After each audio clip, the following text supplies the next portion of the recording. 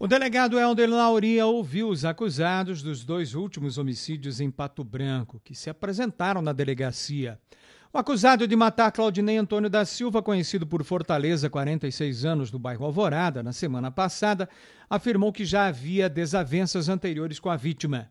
Já o homem que matou Lucas Rodrigo Betiolo, 35 anos, na última sexta-feira no bairro Fraron, em Pato Branco, não deu detalhes sobre o crime, se reservando ao direito de falar somente em juízo. Um foi o homicídio no bairro Alvorada, em que um homem foi morto com um golpe de faca esse, esse autor se apresentou aqui, deu sua versão, inclusive relatou algumas ameaças e confusões anteriores com a vítima, né, que a vítima teria ameaçado ele, e também apresentou a faca utilizada no crime.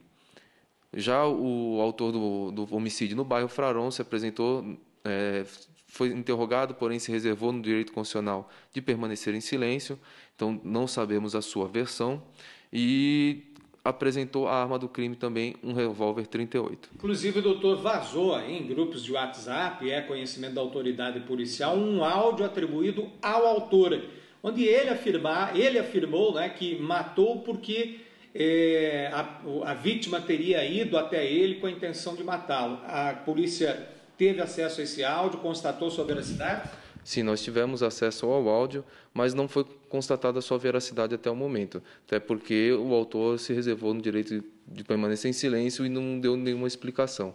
Agora vamos tentar fazer a perícia para ver se conseguimos constatar ali a questão, padrão de voz, o né? padrão de voz e ver se é ele mesmo que estava fazendo, que fez este áudio.